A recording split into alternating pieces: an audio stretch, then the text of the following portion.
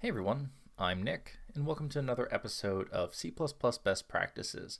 So this is a series where we look at some of the you know better coding habits of writing modern C++. So one of the common ideas that you might see, you know, as far as writing good C++ will be this idea or this technique called RAII, which stands for Resource Acquisition is Initialization. So to kind of sum, you know, this entire you know article up that I'll link below um, about the language, it basically talks about binding the life cycle of some resource. So something like you know heap allocated memory that we get from malloc or new, or something like a mutex or locked mutex to the lifetime of an object, right? And a concrete example of this would be you know, having a constructor for say an object do some kind of dynamic allocation, and then having the destructor of the object free that allocation, right? Then we no longer have to worry about um, you know something things like memory leaks right? Those be, these become less important issues because you know memory is all automatically getting freed when an object goes out of scope. So let's look at a couple concrete examples of RAII in practice. So we'll look at a memory allocation one and one dealing with locks. So the first one we'll look at we'll have this very simple object. So we'll call it resource. It'll just be a struct and it has a constructor and a destructor. So the constructor says you know when resource uh, it just prints out that a resource object has been created and the destructor says, you know, a resource object has been destroyed. So inside of our main function, we'll look at a non-RAII approach. So, you know, in this approach, we're just, you know, creating, uh, we're you know, heap allocating or doing a dynamic allocation here by calling new on resource. So we're just allocating space for one of these uh, resource objects here, right? But the problem with this is that, you know, later on, you know, after some time, we'll have to eventually call delete right, in order to free this memory. If we forget to free this memory, right, and then all of a sudden maybe we lose the pointer or the pointer goes out of scope that actually you know points to this you know object that we've allocated. Um, you know this would be known as a memory leak, right? So we've allocated some memory and we can no longer free it because we don't know where it exists. Right, so this is a problem, right? And especially because this code, so I've got says I say you know some code here. So the space between are uh, the creation or allocation for some uh, region of memory that we've allocated, there's some heap allocation. It can be very, very far from when you know we finally want to free it or destroy it. So you know if we're leaving it up to the programmer to decide, okay, I should free this piece of memory now, right? It's easy for a programmer to make mistakes about this. So you know one way that we can get around this is by using smart pointers. So we can use something like a unique pointer from uh, memory up here, this header. We can use a unique pointer to basically do the allocation for this resource.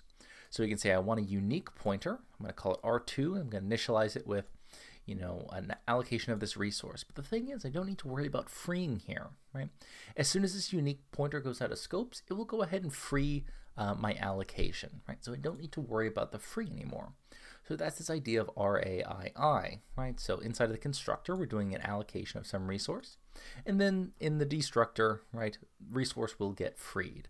So we can show that by, you know, if we go ahead and quit out of this, and we compile our memory allocation example, we go ahead and run it, we see that, you know, just calling new and delete, right, we see that both the constructor and destructor get called. And then, you know, using a, uh, a smart pointer, right, or a unique pointer, right, we see that both the constructor and the destructor get called. So we don't have a memory leak, but we also didn't have to worry about explicitly calling free there. It happened automatically.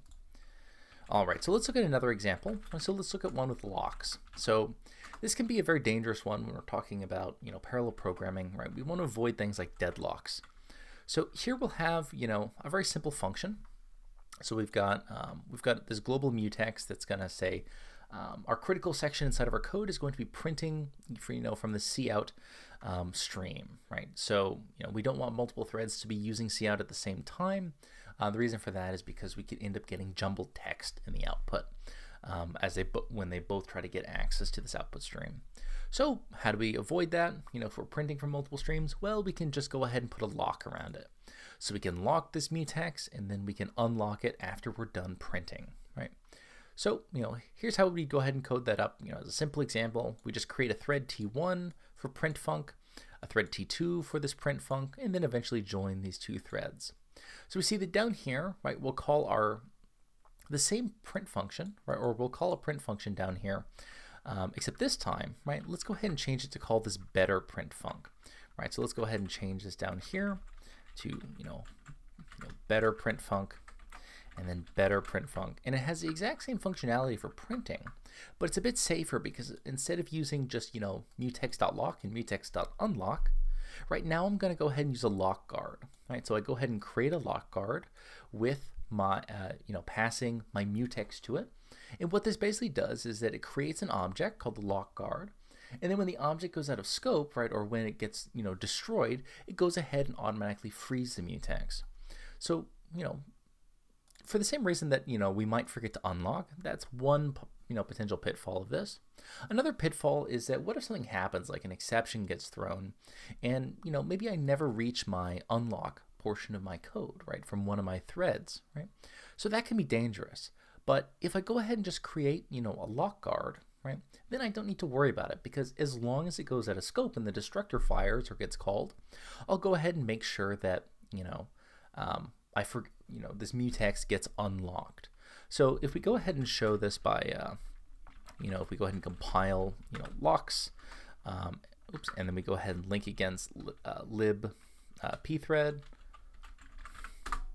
just for the uh, implementation of the actual threading right? You see that they all say printing from a thread, but it's very easy if, you know, something happens and I forget to say unlock, right, from this print func right here, right? Over here in my better print func, I don't need to worry about calling unlock because as soon as the lock guard goes out of scope, it automatically frees the lock.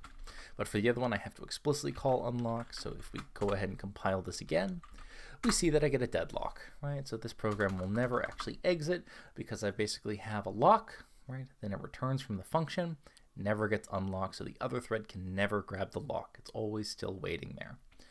All right, so that's some basic examples or some practical examples of RAII. This idea of resource acquisition is initialization. So any of this code can be found at my GitHub page at github.com slash coffee before arch. I have a ton of different series here on you know C++ programming, CUDA programming, Python, parallel programming, you know, etc. So here we're looking at C++ best practices, so you can check out this code under RAII. Last time we looked at this idea of you know, using const uh, in practice and how that can force some, you know, even some better performance. Um, so that's going to go ahead and do it for this episode. You know, as I said, all these examples are here. I'm Nick, and I hope you have a nice day.